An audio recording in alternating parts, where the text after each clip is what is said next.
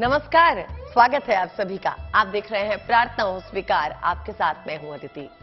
श्री कृष्ण के प्रिय महीने मार्गशीर्ष में ध्यान का विशेष महत्व माना गया है। आज हम ध्यान के विज्ञान को समझने की कोशिश करेंगे, क्योंकि योग, ध्यान, साधना का सदियों से महत्व रहा है।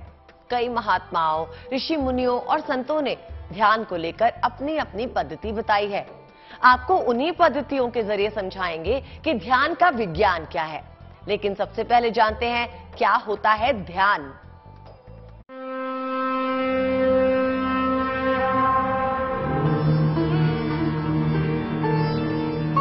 नमो भगवते वासुदेवाय। नमो भगवते वासुदेवाय। आत्मा को परमात्मा से जोड़ता है ध्यान। नमो भगवते वासुदेवाय। ध्यान से मिल सकते हैं भगवान। नमो भगवते वासुदेवाय। नमो भगवते मार्ग शीर्ष में ज़रूरी है ध्यान। श्री कृष्ण का मन भावन महीना है मार्गशीर्ष। महीनों में मैं मार्गशीर्ष हूँ। कान्हा के ये शब्द ये बताने के लिए काफ़ी हैं कि मार्गशीर्ष का महीना कृष्ण भक्तों और श्री हरि के साधकों के लिए कितना महत्वपूर्ण है। देखिए, जैसा कि मार्गशीर्ष माह जो है वो शुरू हो चुका है और ये माह जो है वो भगवान कृष्ण को अति प्रिय है। और भगवान कृष्ण से बड़ा योगी इस धरती पे कौन हुआ होगा? तो इस माह में अगर हम ध्यान करते हैं तो वैसे ही जो है भगवान कृष्ण की हमारे ऊपर कृपा होगी। दूसरा ये कारण है कि ये जो है बड़ा सात्विक महीना है। और इसमें हम, हमको जो है अपने सात्विकता का ध्यान रखना चाहिए और हम जितना ही सात्विक रहेंगे, उतना ही जल्दी जो है हमारा ध्यान लगेगा। तो इस माह में ध्यान करने से यही फ़ायदा है कि भगवान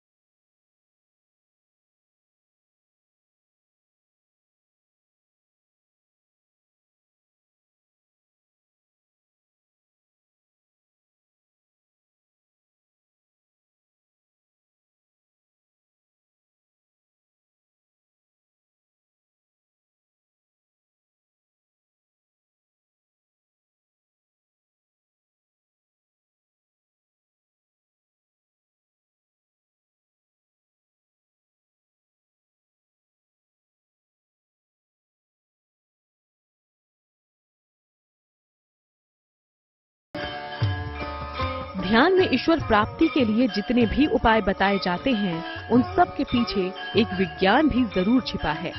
तो चलिए जानते हैं, ध्यान के पीछे छिपा विज्ञान। ओशो की ध्यान पद्धति दुनिया में सबसे सरल और प्रचलित ध्यान की विधि ओशो ने बताई है। इसे ओशो ने सक्रिय ध्यान कहा है, जो पाँच चरणों में होता है। इस ध्यान को समूह में या अकेले करना होता है। लेकिन ये समूह में ज़्यादा प्रभावशाली है। ओशो ने ध्यान की अन्य विधियों के बारे में भी बताया है। आरंभ से लेकर आगे बढ़ने तक कई सीढ़ियाँ बताई गई हैं। ओशो के ध्यान में रंग, सुगंध और नृत्य संगीत पर भी विशेष ज़ोर दिया गया है। इनके ध्यान और साधना में चक्रों को कमल पुष्प के समान बताया गया है।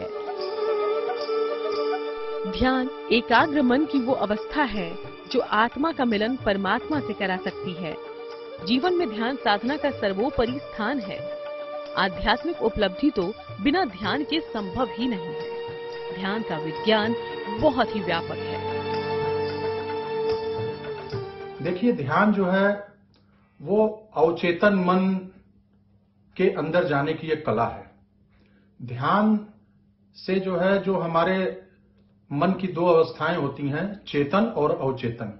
तो चेतन मन में जितनी भी उहापोह की स्थिति चलती है, जो दुविधा चलती है, उसको जो है ध्यान के माध्यम से उन विचारों के प्रवाह को रोका जा सकता है। जब ध्यान हम लगाते हैं तो हमारे चेतन मन पर जो क्रियाएँ होती हैं, जो विचार आते हैं, उनका प्रवाह धीमा हो जाता है और अवचेतन मन में जाके हम उस परम सत्ता से सीधा संपर्क स्थापित कर लेते हैं। तो इसलिए ध्यान करने से हम जो भी चाहें, जो भी अभिष्ट की इच्छा हो, वो हम पूरा कर सकते हैं। ध्यान से भगवान को पाने का मार्ग सबसे पहले महात्मा बुद्ध ने बताया। बुद्ध ने अष्टांग योग के माध्यम से ध्यान का मार्ग बताया।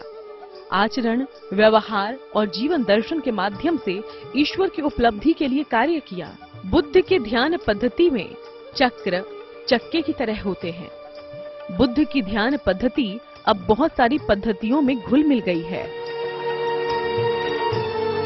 ध्यान करने को लेकर कई मत और कई प्रक्रियाएँ बताई गई हैं, लेकिन इन सब में सबसे ज़्यादा ज़ोर दिया गया है एकाग्र मन का। ध्यान कर पाना तभी संभव है जब मन पूर्ण रूप से एकाग्र हो और आपका उस परमेश्वर में विश्वास भी अटल हो, क्योंकि बिना ईश्वर की कृपा के इस दुनिया में कुछ भी संभव नहीं। मन की एकाग्रता ही ध्यान है। जब एकाग्र मन किसी उद्देश्य या लक्ष्य के लिए कहीं लीन हो जाता है, ये भी ज़रूरी है। ध्यान का लक्ष्य और उद्देश्य अर्थपूर्ण हो। ध्यान के द्वारा आत्मा का परमात्मा से मिलन भी हो सकता है। तो ध्यान से जुड़ी कुछ और पद्धतियों के ज़रिए समझते हैं ध्यान के विज्ञान को।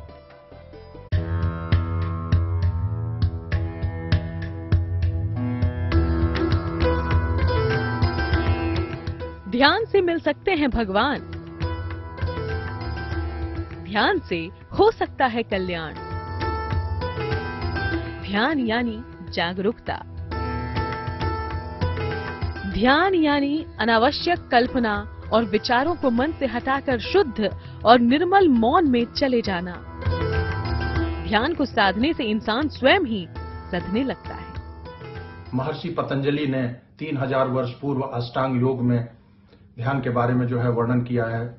उसी को बहुत से ऋषि महर्षि हुए अलग अलग तरीके से ध्यान करते हैं। महर्षि महेश योगी का भावत, भावातीत ध्यान बहुत प्रचलित है। और ध्यान में जो है, अभी जो ओशो रजनीश जी हैं, वो भी ध्यान करने की कला बताते हैं, जिसमें उनका डायनामिक मेडिटेशन वो बड़ा प्रसिद्ध है। और विपशना भी काफ़ी प्रसिद्ध है। तो एक ही तरीके से जो है, एक ही लक्ष्य तक पहुँचने के लिए हमारा लक्ष्य क्या है? उस परम सत्ता तक पहुँचना और उसमें अलग अलग तरीके से सब लोग ध्यान कराते हैं। ऋषि महर्षियों ने भी इसका खुल के बखान किया है। ध्यान का विज्ञान आज का नहीं, बल्कि पौराणिक है। दरअसल जो ध्यान है, वही विज्ञान है। ध्यान का संबंध आत्मानुसंधान से है। परमहंस योगनंद ने भी ध्यान के विज्ञान को बखूबी समझाया है। परमहंस योगानंद ने ध्यान की जिस विधि का दुनिया भर में प्रचार प्रसार किया है, वो है क्रिया योग मूल रूप से क्रिया योग पद्धति का आविष्कार एक महान गुरु बाबा जी महाराज ने किया था। इस पद्धति में भी कई चरणों के बाद ही ध्यान तक पहुँचने का अवसर मिलता है। क्रिया योग पद्धति तमाम ध्यान पद्धतियों का अनूठा संयोग है। ध्यान आत्मिक विज्ञान का ही दूसरा नाम है। मन को केंद्रित करने की किसी भी तरह की क्रिया मनोयोग को ही ध्यान कहते हैं। स्वामी आनंद मूर्ति ने ध्यान के विज्ञान को समझाने की कोशिश की है।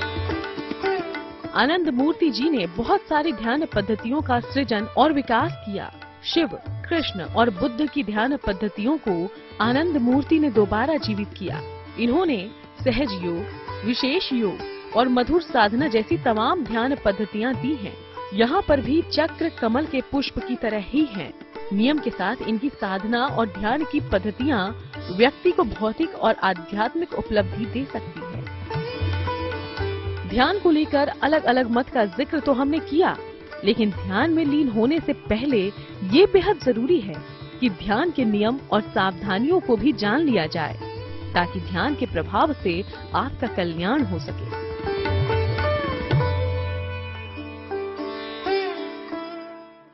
अलग अलग पद्धतियों के ज़रिए अब हमने आपको ध्यान के, विज्ञान के बारे में तो समझाने की कोशिश की। अब आपको बता देते हैं कि ध्यान में बरती जाने वाली सावधानियाँ कौन सी हैं?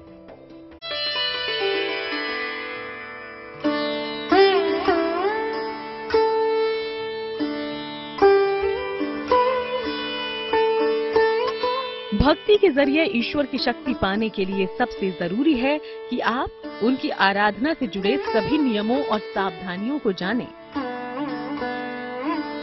ईश्वर के किसी भी रूप की आराधना करने से पहले ज़रूरी है उन बातों के बारे में जानना, जिनके बिना नहीं मिलता। किसी भी जप, तप और ध्यान का पूरा फल। ध्यान का मतलब यह है कि हम उन्निंदी अवस्था में हो जाते हैं। जब हम आँख लगा के, आँख बंद करके जब हम ध्यान करते हैं तो इसका मतलब ये होता है कि हम अवचेतन मन के अंदर अब प्रवेश कर रहे हैं, क्योंकि वो विचार शून्य की अवस्था है। जब हम ध्यान में बैठेंगे तो हमारे विचार धीरे धीरे शून्य हो जाएँगे और हमको ऐसा लगेगा कि हल्की सी जो है नींद जैसी आ रही है। वो अवस्था जो है, वो ध्यान की होती है। ध्यान में तभी सफल है जब किसी की भाव, कल्पना और विचारों का क्षण मात्र भी प्रभाव न पड़े। मन और मस्तिष्क का मौन हो जाना ही ध्यान का प्राथमिक स्वरूप है। ध्यान में इंद्रियाँ मन के साथ, मन बुद्धि के साथ और बुद्धि अपने स्वरूप आत्मा में लीन होने लगती है। जब चेतन मन पे बहुत ज़्यादा उहापोह की स्थिति रहती है, बहुत विचारों का बवंडर, विचारों का प्रवाह रहता है तो हम अपने अवचेतन मन में नहीं झाँक सकते। लेकिन जैसे ही ध्यान के माध्यम से हम चेतन मन पर आ रहे विचारों पर काबू पाएँगे तो हम अवचेतन मन के स्तर पर होने वाले बदलाव को साफ़ महसूस करेंगे। इसका अर्थ ये हुआ कि जब हम ध्यान करेंगे तो हमारी जो मस्तिष्क की तरंगे हैं, वो अल्फ़ा स्टेज में चली जाएँगी। तो अल्फ़ा स्टेज को उन्निंदी अवस्था कहते हैं, जिसको अंग्रेज़ी में ड्राउजीनेस स्टेज बोलते हैं। तो इस अवस्था में ध्यान करने पर हमें संपूर्ण फल की प्राप्ति होती है। आइए जानते हैं ध्यान से जुड़ी कुछ खास सावधानियों को। बिना किसी आधार और उद्देश्य के ध्यान न करें। जिस व्यक्ति से आपको ध्यान सीखना है, पहले उसकी उपलब्धियाँ जान लें। ध्यान सीखने से पहले उस व्यक्ति का जीवन और सामाजिक दर्शन जानने का प्रयास करें। केवल आकर्षण के लिए ध्यान की ओर न जाएँ। एक रास्ते पर चलें बार बार तरीकों में बदलाव न करें। याद रखिए, केवल आँख बंद करना ध्यान नहीं होता। तो ध्यान एक प्रक्रिया जिसमें कई पड़ाव हैं और इससे जुड़ी कई सावधानियाँ भी हैं। इन्हें अपनाकर आप इस लोक और परलोक के मध्य के पथ पर चलते हैं। तो ध्यान के विज्ञान को अपने जीवन में अपनाएँ और ईश्वरीय कृपा के पात्र बने। क्योंकि करेंगे ध्यान, तभी मिलेंगे भगवान। प्रार्थना हो स्वीकार में मेरे यानी अतिथि के साथ बस इतना ही। लेकिन देश और दुनिया की बाकी खबरों के लिए आप देखते रहिए जीएनटी यानी गुड न्यूज़ टुडे